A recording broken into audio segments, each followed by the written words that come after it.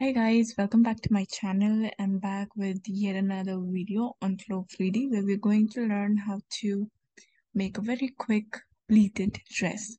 So without wasting a lot of time, we're going to take the rectangle tool, click and leave the click in the 2D pattern window.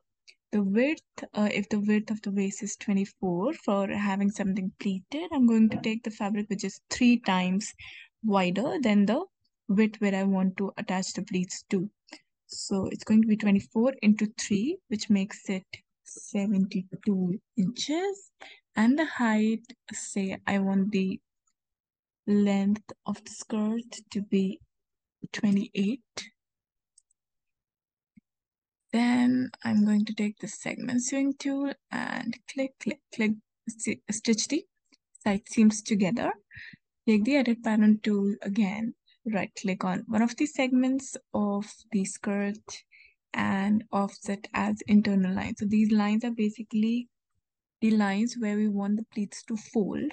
I've kept the width as 0.5 inches and the number of offsets is going to be twice the width. So 72 into 2, 144 should be it. Okay. So first thing to have your fabric pleated is adding the offsets, the lines for pleating. You can keep it at one inches as well. It really depends uh, how wide do you want the pleats to be. So I've kept it 0.5 and the number of offsets that I kept was twice the number of, twice the width of the fabric. And next, right click, and add point to the pattern outline. Remember these two steps are very important steps when you want to pleat any fabric or any pattern. So adding the internal lines and then extend trim and add point to the pattern outline. Next, I'll make a belt, which is going to be 24 inches wide and an inch uh, 24 inches wide. One is going to be the length of the belt. And let me move this down.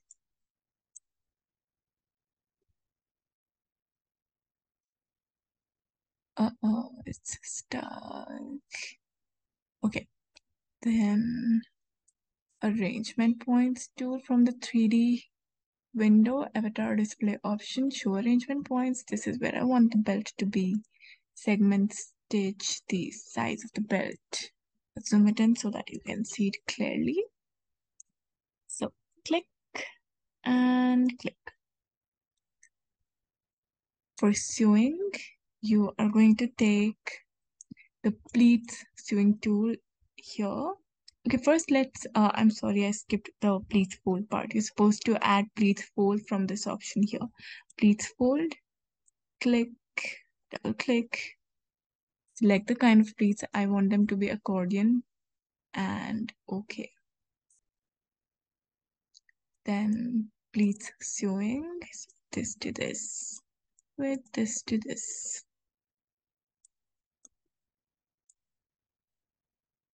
I, I think I couldn't make it till the entire thing. I'll take my edit sewing tool and I'll just move this till here.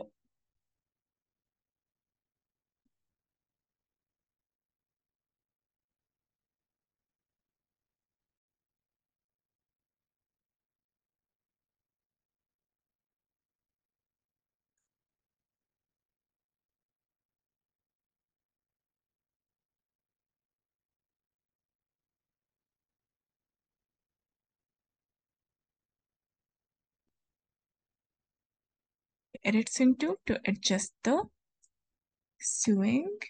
And before you actually simulate you'll also have to arrange it in a see you will be able to simulate right away too. But especially for pleating if you want it to be faster and smoother you can always fold it. Use the fold arrangement tool click on one of the internal lines and fold it around the body I am not using the arrangement point tool here because when you arrange it in a circle, since the width of the fabric is too much, it's going to rotate to like two rounds and then when you simulate it, it's going to be tedious. So this is how you can fold it before you simulate and press spacebar.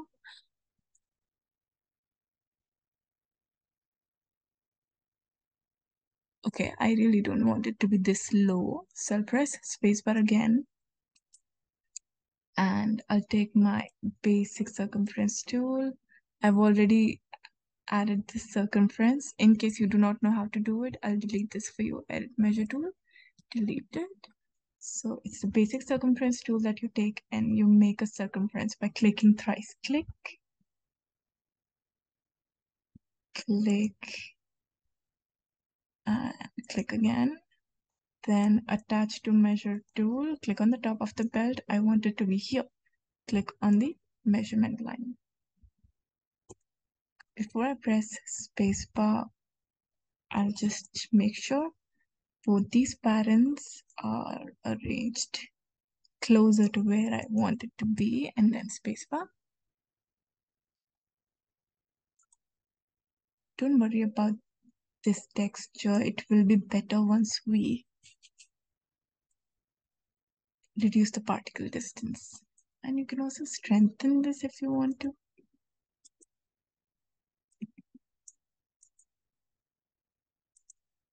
Okay. I want the top also to be pleated, so I'll just copy paste the same thing. Copy, paste here. Right click, rotate clockwise to uh, I want it to be 180 degrees. So maybe clockwise, I'll make it twice.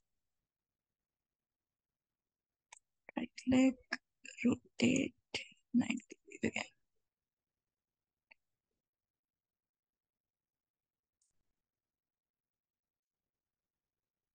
And reducing the length.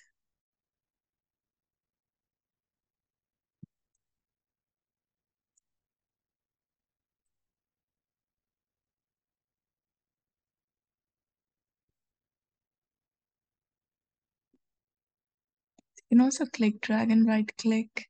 I want the height to be 14 maybe.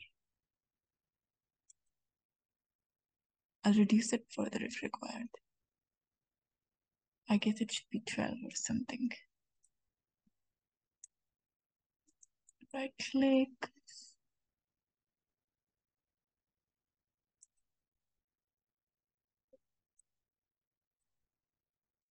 Yeah, I guess I can make it smaller.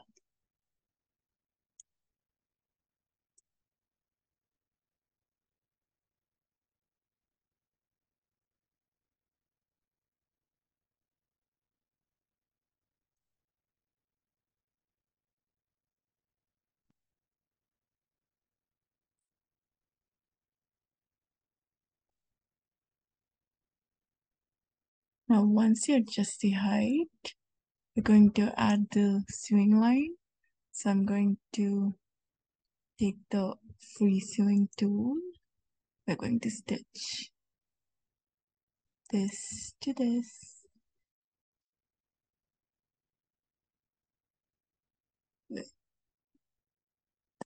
This to this.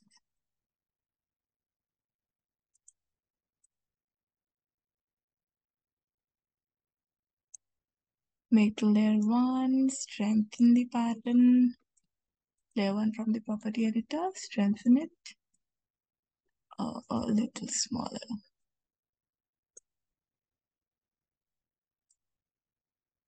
Just maybe just a little. Oh, it just reduces it too much. Okay, spacebar.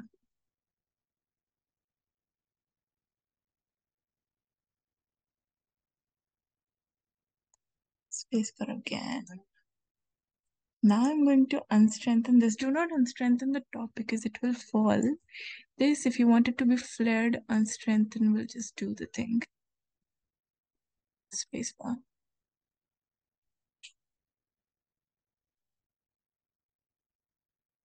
And then reducing the particle distance.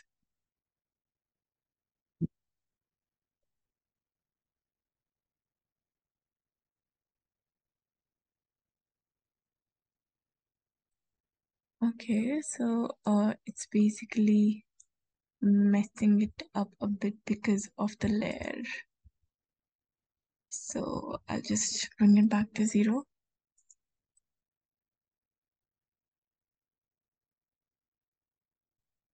And reduce the particle distance for all these things. Control A. I'll keep the particle distance six or five for now. Then spacebar again.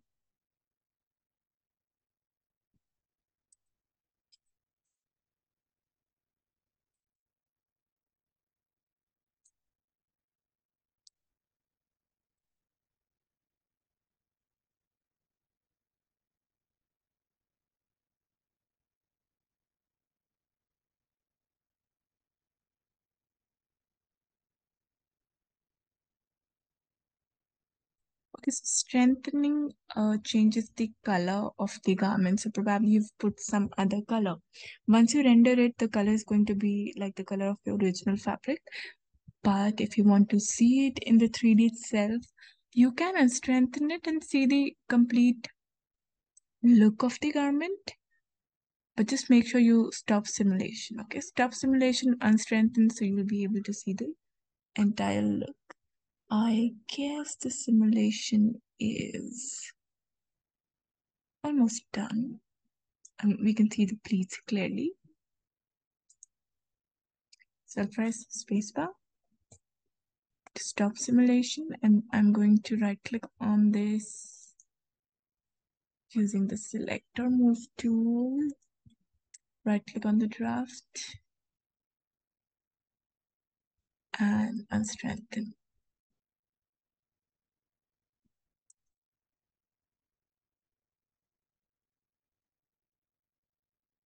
Like outside. It's still simulating. Okay, so yeah, this is how you can very quickly make a pleated dress and you can also change the color of the fabric and the types. I guess this is going to look good in satin.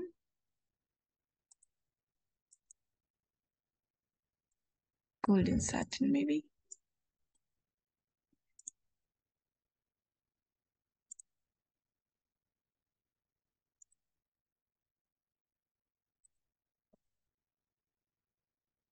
Yeah, this is how we add pleats to any fabric. Remember three key points when you're pleating things. First, you're supposed to set internal lines according to the, no, no, no. First, you're supposed to take the width of the fabric thrice.